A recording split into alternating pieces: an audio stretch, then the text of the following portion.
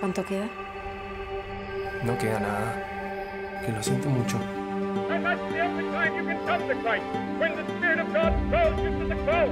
Don't you hesitate. Have you ever thought of going to seminary? I can afford it. Returning to California tomorrow. Take my card.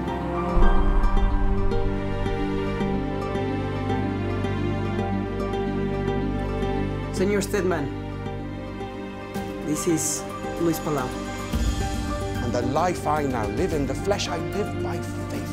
Fuiste en busca de Dios. ¿Es así? Please. One of these days, you're gonna dig a hole so deep, none of us will be able to pull you out of it. Do you have any idea how this makes me look?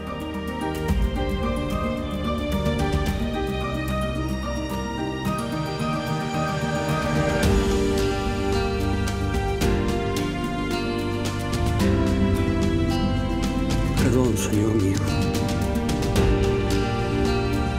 Nadie tiene mayor amor que uno dé su vida por sus amigos. Esto es lo que dijo Jesús en el Evangelio según Juan. Hermanas, hermanos, Jesús está golpeando las puertas de tu vida, de tu corazón, de tu casa. Para todos juntos marchar en un mismo sentir, todas las congregaciones juntas como un solo cuerpo marcharemos hacia la Plaza Bolívar. Y ahora Luis Palau tres, responde.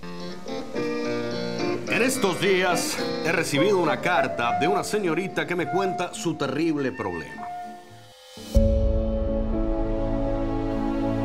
I want to evangelize, Pat. I mean, mass evangelism. God's in it, it'll happen. Billy Graham. Pleasure to meet you, Mr. Graham. He'll preach all around the world one day. I I believe it. This is crazy, please. I have been crucified with Christ. It is no longer I who live, but Christ who lives in me. Why do you let the little things upset you? I don't know. To succeed, you need a clear vision. Need to be bold.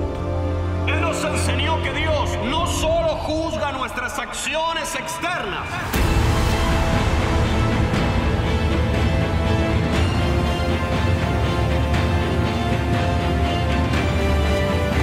Hermanos, hermanas, ¿quién está listo para ser transformado por el poder de su palabra?